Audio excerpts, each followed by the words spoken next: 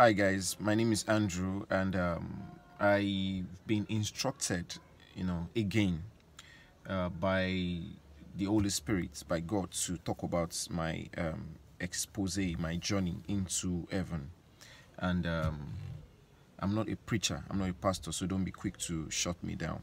I, anybody that knows me knows that I don't even really like stuffs about this, but God keeps saying I should talk about it. So um, I I I was I was attacked in India 2011, and um, I was operated upon, and on that operation table, I would say I died. And when I did, I saw some things, you know, that's um, only started making sense to me now, and I would like to talk about some of these things. So I would want you to follow me. I would want you to follow this series. It's going to be fun. It's going to be interesting. It's going to educate you. It's going to enlighten you. It's going to expose you. It's going to open your spirit up.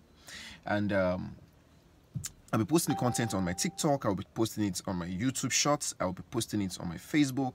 Um, it will be fun. You understand? Like I said, I'm not a preacher. I don't intend doing that. But Lord had laid it in my spirit then to talk about it. And a colleague of mine, which is also who is also a pastor, pressed and said I should please talk about some of these things. So we're talking about different things in life, different aspects of life and how we can actually make a little bit more sense about what we see around us you know? And um, i think it's not it's coming at the perfect time where i am trying to rediscover myself also.